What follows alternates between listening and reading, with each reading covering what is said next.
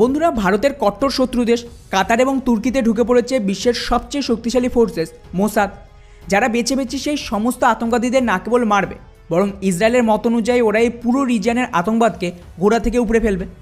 ব্যাস, এই রিপোর্ট সামনে আসতে না আসতে আমাদের এরদোগান চাচা সবচেয়ে বেশি আতঙ্কে রয়েছে যে যদি একবার ইসরায়েলের ফোর্স তুর্কির ভেতরে ঢুকে মারতে শুরু করে, তাহলে কিন্তু গত কয়েক দশক ধরে ওদের যে জেহাদি ইকোসিস্টেম তৈরি হয়েছে, তাকে সম্পূর্ণ ধ্বংস করে দেবে।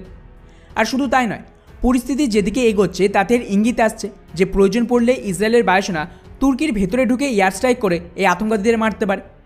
আর স্বাভাবিকভাবেই এটা তুর্কি, স্পেশালি এরদোগানের জন্য সবচেয়ে বড় থ্রেট তাই পাল্টা এরদোগানও কিন্তু ইসরায়েলকে ধমকি দিতে শুরু করে দিয়েছে যে ওরাও কিন্তু ইসরায়েলকে ছেড়ে কথা বলবে না। এবার এখানে ডেফিনেটলি আপনাদের মাথায় প্রশ্ন আসছে যে ভাই, লড়াই চলছিল ইসরায়েল আর প্যালেস্তাইন বা বলা ভালো ইসরায়েল আর হামাসের আতঙ্কবাদীদের মধ্যে। এখানে মাঝখান দিয়ে ইসরায়েল তুর্কির ওপর কেন হামলা করতে যাবে? আর যদি করেও তুর্কি তো ন্যাটোর সদস্য, তাহলে কি ন্যাটো তুর্কিকে বাঁচাতে ইসরায়েলকে ঠেকাবে? তো বন্ধুরা, এই সব কিছু শুরু হয় এই রিপোর্টটা থেকে, যার মতে ইসরায়েলের সিকিউরিটি চিফ সাফ জানিয়ে দিয়েছে যে ওরা একটা অপারেশন লঞ্চ করছে ইসরায়েলের বাইরে গোটা বিশ্ব জুড়ে। যার আন্ডারে যেখানে যেখানে হামাস আতঙ্কবাদীরা রয়েছে, তাদেরকে খুঁজে বার করে এক এক করে মারবে। কেননা আপনাদের আমি অলরেডি গত মাসে আপডেট দিয়েছিলাম যে ইসরায়েলের প্রধানমন্ত্রীর সোজা জবাব ছিল যে এটা ইসরায়েল হামাসের শেষ লড়াই। কিন্তু বন্ধুরা, মুশকিল হলো যদি হামাসকে গোড়া থেকে শেষ করতে হয়, তাহলে কেবলমাত্র গাজার দখল নিলেই হবে না। বরং একই সাথে সমস্ত হামাসের লিডারশিপকেও শেষ করতে হয়। আর হামাসের লিডাররা এতটাই ভীতু যে ওরা কিন্তু গাজাতে থাকে না। ওরা থাকে কাতার, তুর্কির মতন দেশের বড় বড় প্যালেস আর হোটেল। এদের বিলিয়ন্স অফ ডলারের সম্পত্তি। মানে বলতে পারেন যে ফুল রাজার হালে রয়েছে। আর এখান থেকে সমস্ত প্ল্যানিং হয় যে কীভাবে ইসরায়েলে হামলা হবে। ফলে যদি কেউ মরে, সেটা মরবে ফিলিস্তিনের জনগণ। কিন্তু এদের কোনো ক্ষতি হয় না।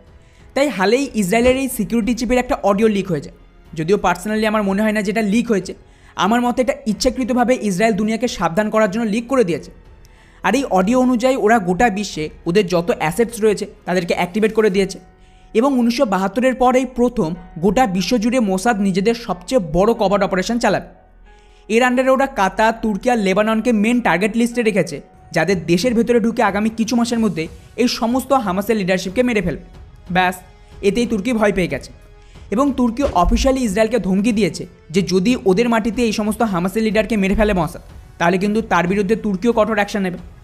এখন আমি এখানে জানি না যে তুর্কির সরকার কীভাবে ইসরায়েলের বিরুদ্ধে অ্যাকশন নেবে। ওদের তো অকাত নেই যে ইসরায়েলের ওপর অ্যাটাক লঞ্চ করবে।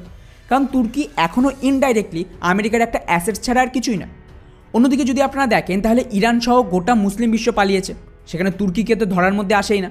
না তুর্কি ইকোনমিকভাবে এতটা শক্তিশালী, না ওরা সামরিক দিক থেকেও এতটা শক্তিশালী যে ইসরায়েলের ওপর একার দমে পুরো হামলা শুরু করবে। আর বন্ধুরা, এখানেই শেষ নয়। ইসরায়েলের এই অপারেশন কতটা মারাত্মক হতে চলেছে, তার আইডিয়া আপনি এর থেকেই পেয়ে যাবেন, যেটা মসাদের অস্তিত্বের লড়াই। ইসরায়েলে হামলার পর মোসাদের যে অপমান হয়েছে, এটা তার বদলা হবে। তাই এই রিপোর্টটা দেখুন। ফ্রান্সের মিডিয়া দাবি করছে যে ইসরায়েলের একটা খুবই সিক্রেট ফোর্স রয়েছে, যার নাম নীলি। এরা স্পেশালি তৈরি হয়েছে অন্য দেশের মাটিতে অপারেট করার জন্য। যেভাবে ইসরায়েল স্বাধীন হওয়ার পর গোটা বিশ্বে খুঁজে খুঁজে নাজিদের মেরেছিল। কিছু নাজিকে ইসরায়েলে তুলে আনে। এছাড়াও উনিশশো বাহাত্তর সালের অলিম্পিকে এগারো জন ইসরায়েলের অ্যাথলিটকে মারার পর, বহু বছর ধরে যেভাবে গোটা বিশ্বে ফিলিস্তিনি আতঙ্কবাদীদের মারা হয়েছে, তার থেকেও কিন্তু এটা একটা বহু বড় অপারেশন। ফলে আশা করি এর থেকে আপনারা কিছুটা অনুমান করতেই পারছেন যে কেন তুর্কি এতটা আতঙ্কে দিন কাটাচ্ছে। আর বাকি রইল তুর্কি ন্যাটোর সদস্য, তো এখানে গোটা পশ্চিমা বিশ্বই ইসরায়েলকে সমর্থন দিচ্ছে। এমন পরিস্থিতিতে এই অপারেশনের দরুন ইসরায়েলকে আমেরিকা আর বাকি ন্যাটো দেশের তরফ থেকে সাহায্য আসবে। ফলে আপনাদের মনে হয় যে এরা ইসরায়েলকে থামানোর জন্য কিছু করবে? ম্যাক্সিমাম দু একটা স্টেটমেন্ট আসতে পারে। এখন দেখা যাক যে যেভাবে ভারত পাকিস্তানকে পরিষ্কার করছে, ওদিকে ইসরায়েল এবার কাতার, তুর্কি, লেবাননের মতন দেশের ভেতরে ঢুকে ক্লিনিং করবে। মানে ভারতের র আর ইসরায়েলের মসাদ পুরো সিনেমা শুরু করে দিয়েছে গ্লোবাল। বাকি এই পুরো বিষয়টিকে নিয়ে আপনাদের কি মনে হয়? নিচে অবশ্যই কমেন্ট করে জানাবেন। জয় হিন্দ।